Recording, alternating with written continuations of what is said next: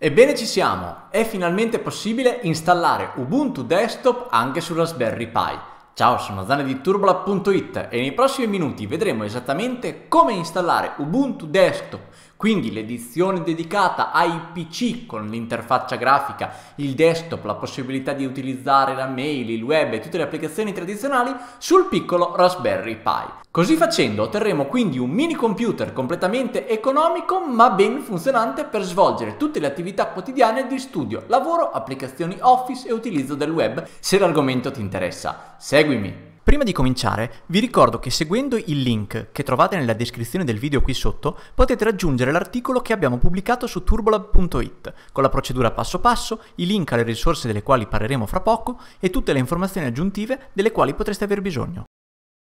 La precisazione Ubuntu Desktop in questo contesto è sicuramente molto importante. Prima di ottobre 2020, infatti, era possibile installare solo Ubuntu Server su Raspberry Pi, ovvero l'edizione sprovvista dell'interfaccia grafica. O volendo si poteva un po' smanettare per ottenere anche l'ambiente desktop, ma non era comunque una situazione ufficiale e supportata da Canonical, quindi lo sviluppatore di Ubuntu. A partire da fine ottobre 2020 è invece possibile installare proprio Ubuntu Desktop completo in versione ufficiale, sponsorizzato e emesso direttamente da Canonical. Questo ha un grandissimo vantaggio innanzitutto perché proprio abbiamo una configurazione supportata, oltre al fatto che Canonical stessa ha applicato una serie di ottimizzazioni e migliorie specifiche per Raspberry Pi in modo che il sistema operativo giri al meglio anche sul processore limitato del nostro computerino. La limitazione principale di questo nuovo approccio è che è necessario un Raspberry Pi dotato almeno di 4 GB di RAM, 4 o più GB di RAM. Questo significa che tutte le vecchie generazioni Raspberry Pi 3, 2 e Raspberry Pi originale non potranno accedere alla configurazione che andremo a dettagliare fra poco. Per il resto non ci sono altri requisiti particolarmente significativi. Ci servirà chiaramente un PC di lavoro, quindi un PC con Windows, eh, Linux oppure Mac, una chiavetta USB da almeno 8 GB di capacità, il mouse, la tastiera e lo schermo e l'alimentatore per il nostro Raspberry Pi e una connessione a internet veloce proprio per scaricare il sistema operativo Ubuntu. Una precisazione, io raccomando di utilizzare una chiavetta USB veloce 3.0 come questa, se vi interessa trovate il link a questo specifico modello che ho utilizzato io nella descrizione del video qui sotto. Ora tecnicamente potreste utilizzare anche la micro SD, quindi la schedina che va inserita direttamente a Raspberry Pi, però nella mia esperienza la maggior velocità della chiavetta USB rispetto alla schedina micro SD si fa sicuramente sentire e utilizzando appunto la chiavetta è tutto molto più veloce e piacevole da utilizzare. Bene, basta chiacchiere, entriamo nel video della trattazione, iniziamo sicuramente collegando la nostra chiavetta USB al PC di lavoro e dopodiché spostiamoci sul PC da lavoro. Apriamo il nostro browser web e apriamo questo indirizzo turbolab.it barra 3069. Verremo mandati a questa pagina che è appunto la versione testuale di questo stesso video che state guardando in questo momento da qui ci interessa seguire il link scarica Raspberry Pi Imager. Si aprirà questa pagina ufficiale della Raspberry Pi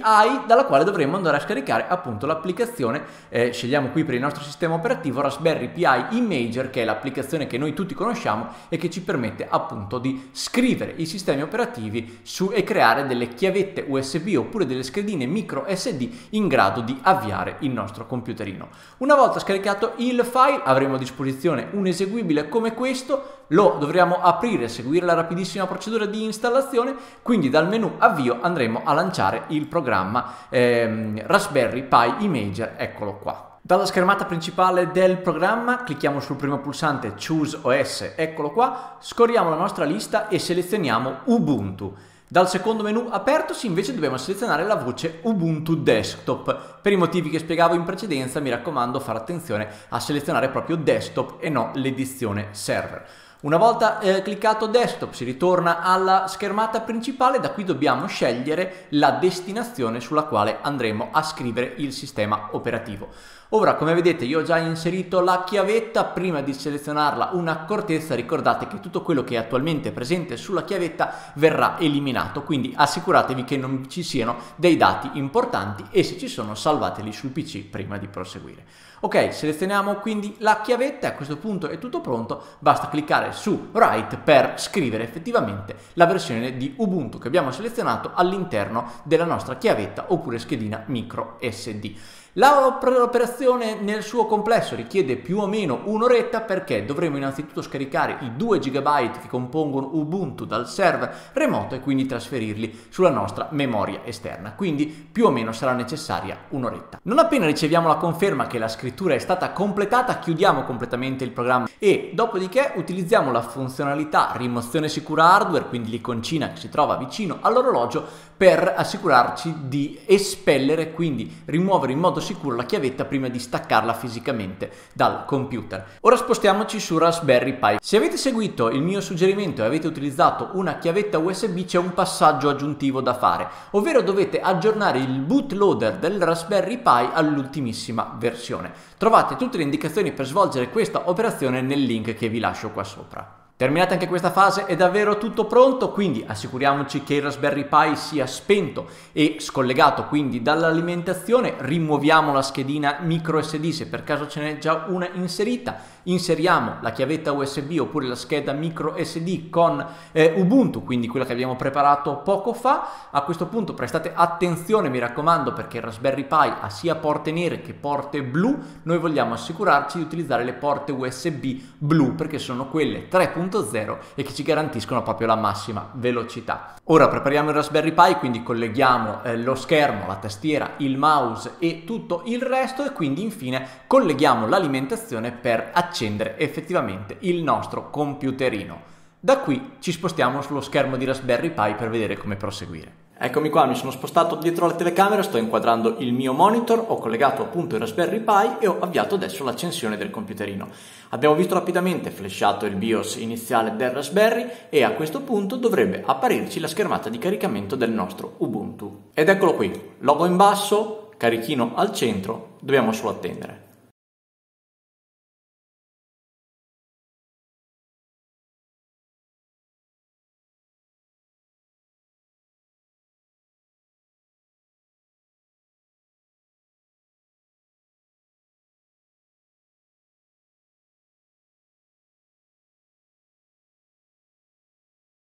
Eccolo qua, il nostro classico desktop di Ubuntu.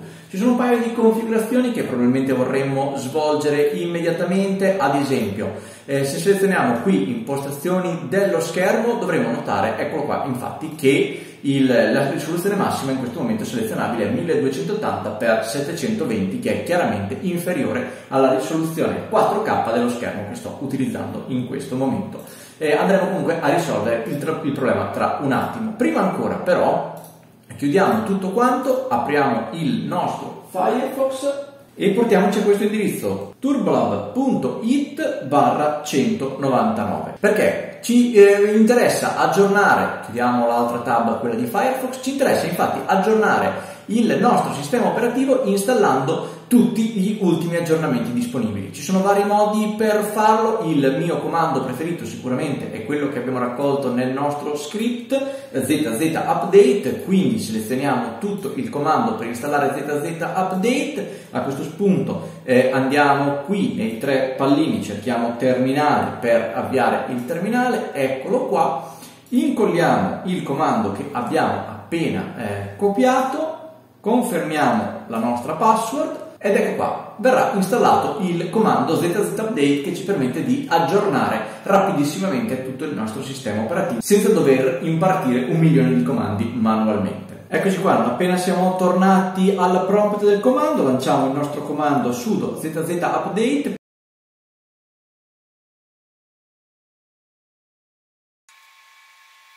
Al termine dell'aggiornamento il nostro script procederà a riavviare automaticamente il Raspberry Pi. Non appena tornati ad Ubuntu dobbiamo risolvere il problema della bassa risoluzione dello schermo. Apriamo quindi il nostro articolo turbolab.it barra 3069, spostiamoci qui nella sezione dove ci sono le indicazioni per migliorare il problema della risoluzione e prendiamo appunto CTRL Alt e T per aprire rapidamente il terminale.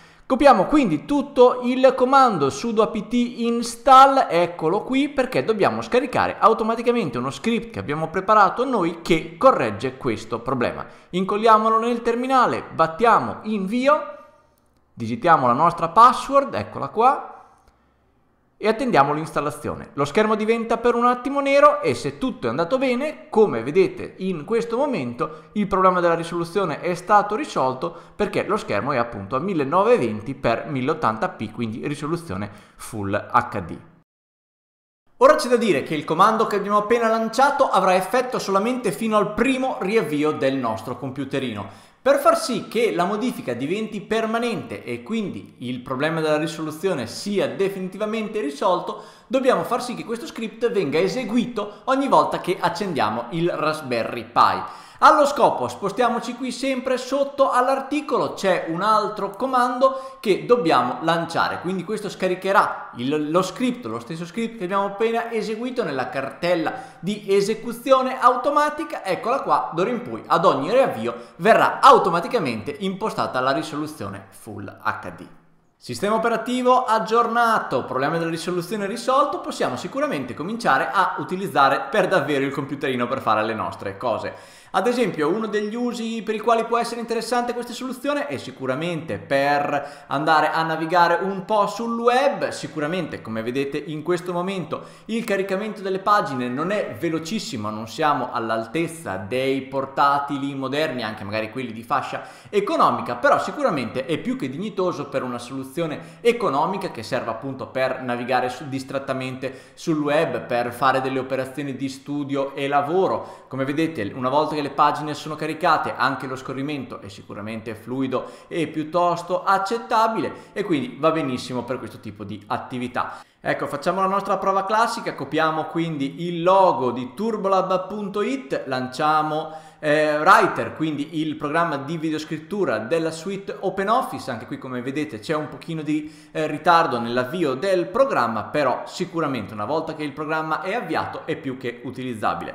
Ok, scriviamo ciao da e poi andiamo ad incollare il nostro logo. Perfetto, non ci sono problemi, lo possiamo anche riposizionare e ridimensionare senza grossi problemi, è comunque tutto piuttosto fluido. Bene, da zona di turbola.it è tutto, come al solito se il video ti è piaciuto ti chiedo di cliccare sul pulsantone mi piace che trovi qua sotto, per me è estremamente importante, quindi grazie. Grazie davvero in anticipo se troverai un secondo per farlo. Se invece vuoi essere informato ogni volta che pubblico un nuovo video sul mondo della tecnologia, quindi Windows, Linux, Android, Raspberry Pi, ma anche Bitcoin e criptovalute, mondo tecnologico in generale, non dimenticare di iscriverti cliccando sul grande pulsante rosso iscriviti e sulla piccola campanella di fianco. Mi raccomando la piccola campanella. Al prossimo video, ciao!